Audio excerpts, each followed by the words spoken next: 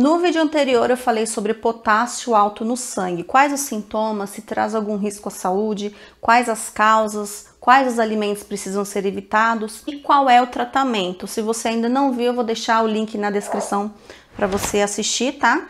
E o vídeo de hoje é uma sequência desse vídeo, porque eu tô atendendo aí ao pedido de uma inscrita aqui do canal, a Lúcia Bueno. Ela pediu que eu trouxesse opções de refeições para quem tem potássio alto, mas que também é diabético. Como muitos dos alimentos que o diabético precisa comer são ricos em potássio, e na verdade precisam ser evitados por um tempo por quem tem potássio alto também, o diabético fica meio perdido, porque se ele fica sem comer esses alimentos, a diabetes acaba ficando descompensada. Então, o diabético que também tem potássio aumentado fica sem saber exatamente o que comer. Inclusive, me conta aqui nos comentários se você que é diabético e também tem potássio alto tem essa dificuldade. Se sim, já pega papel e caneta, porque eu vou te mostrar um cardápio para um dia inteiro. Bora lá?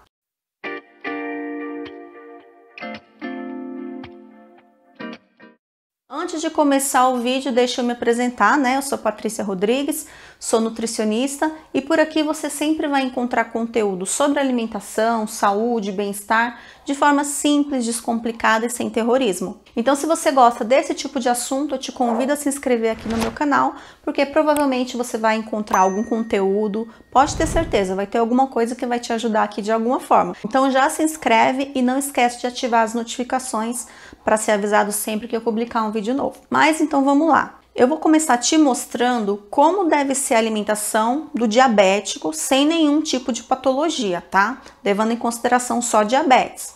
Então é importante combinar três nutrientes para manter a glicemia estável. Vai ser necessário colocar uma fonte de carboidrato de baixo índice glicêmico para fornecer energia para o corpo, outra fonte de proteína para aumentar a saciedade e ajudar também a diminuir o índice glicêmico do carboidrato e outra fonte de fibras que também dá saciedade e aumenta o tempo de digestão da refeição. Assim ela demora mais tempo para ser digerida e convertida em açúcar no sangue. Se você não sabe o que é índice glicêmico ou tem dúvidas sobre o assunto, eu vou deixar um vídeo aqui na descrição para te ajudar a entender melhor sobre esse tema, tá? Então o diabético precisa comer carboidrato, proteína e fibras para manter a glicemia estável, certo? É, tá bom. Mas como eu falei anteriormente, o grande problema aqui é que muitos dos alimentos que possuem esses nutrientes para o controle da glicemia do diabético são ricos em potássio. Então, uma pessoa que é diabética e possui potássio aumentado precisa evitar o consumo desses alimentos por um certo período de tempo. Mas se esses alimentos são importantes para o controle do diabetes, significa que se eles forem retirados da alimentação, a diabetes pode ficar descompensada. Para você ter uma ideia dos carboidratos, né, que oferecem energia para o corpo, a batata doce, a mandioquinha e o inhame, que possuem baixo índice glicêmico, são ricos em potássio. No vídeo anterior eu falei sobre os alimentos que são fontes de potássio, que são ricos em potássio. Então, terminando esse vídeo, dá uma olhadinha lá, eu deixei o link aqui para você na descrição, para você saber quais são os alimentos ricos em potássio. Então, se a pessoa é diabética e também está com potássio aumentado no sangue, ela não vai poder comer a maioria desses alimentos. Percebeu a dificuldade? É claro. Então agora a gente vai para a parte que realmente interessa, que é o cardápio propriamente dito. Agora, se você é apenas diabético, já tem um vídeo no canal aqui com sugestões de refeições para o café da manhã e lanche da tarde e também para o almoço e para o jantar. Vou deixar o link aqui na descrição para você também. Então vamos lá? Esse cardápio é para um dia inteiro, então eu vou dar sugestões de café da manhã, almoço, lanche da tarde e jantar, que são as principais refeições do dia, tá bom? Uma coisa importante de dizer antes de a gente começar é que o potássio está presente em praticamente todos os alimentos, porém, em alguns alimentos ele está em, em concentração maior e em outros em uma concentração menor. Então, são esses alimentos com uma concentração menor que a gente vai incluir aqui no cardápio certo? Então, para o café da manhã, a gente vai colocar um carboidrato, porque vai dar energia para o corpo. Eu coloquei cuscuz de milho, que tem médio índice glicêmico. Você pode colocar 4 colheres de sopa. Na proteína, eu vou colocar ovos mexidos, que vão ajudar a diminuir o índice glicêmico desse cuscuz. E você pode usar dois ovos. Nas fibras, eu coloquei uma maçã, que vai ajudar a aumentar o tempo de digestão de toda essa refeição, né? E, consequentemente, vai demorar mais para converter é, toda essa refeição em açúcar, tá? Então, a digestão sendo mais lenta, a conversão em açúcar se torna mais lenta também, então o pico de açúcar na corrente sanguínea é menor. Vamos pro almoço? No carboidrato eu coloquei arroz integral, que é uma boa opção porque tem baixo índice glicêmico.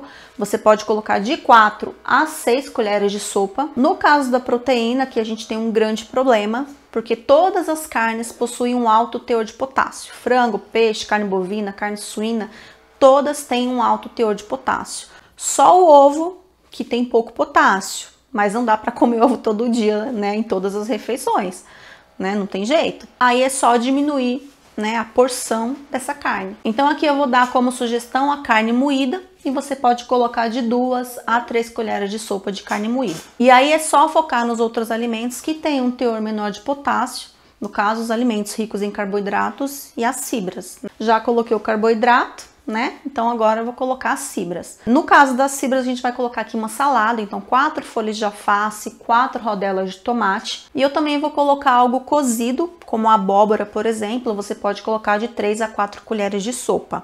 Prontinho, nosso almoço já está finalizado. Agora vamos para o lanche da tarde?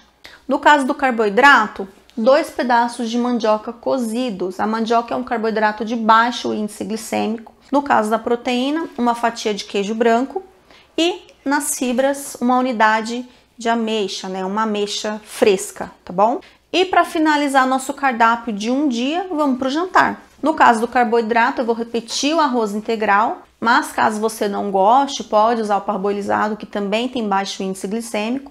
Se preferir, você pode comer a metade né, da quantidade que você comeu no almoço, ou seja, de duas a três colheres de sopa, tá?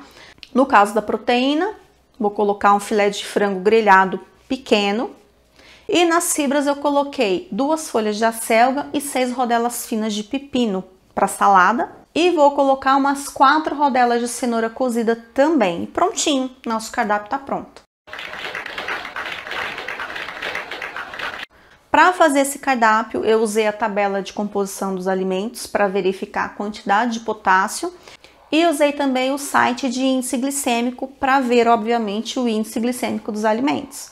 Vou deixar o link de cada um na descrição do vídeo, caso você queira ver, tá bom? Claro que essa sugestão de cardápio é para apenas um dia, então você até pode repetir, né, variar algumas coisas, mas o ideal mesmo é que você procure um nutricionista para que ele te ajude com um cardápio completinho, até que os níveis de potássio estejam normalizados e você possa voltar à sua rotina alimentar habitual, tá bom? Claro que eu estou partindo do pressuposto que você tem uma alimentação equilibrada antes, né? Agora, se você não tinha bons hábitos alimentares antes de ter né, a hipercalemia, o potássio alto no sangue, eu sugiro que você já comece a modificar os seus hábitos alimentares, porque caso contrário você pode ter outros problemas nutricionais também. No meu programa de reeducação alimentar, você aprende a se alimentar de forma equilibrada, sem neurose, comendo de tudo, aprende a lidar com a comida, né? Para de enxergar a comida como vilã.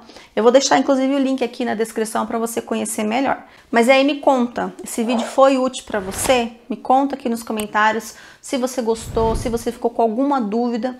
Aproveita e pergunta porque essa é a hora de você tirar suas dúvidas também. Se você achou que esse vídeo valeu a pena, não esquece de curtir e de compartilhar com outras pessoas também. E se você quiser me acompanhar no Instagram e no Facebook, vou deixar o link na descrição, caso você queira me acompanhar por lá também. Espero que você tenha gostado, vou ficando por aqui. Tchau, tchau!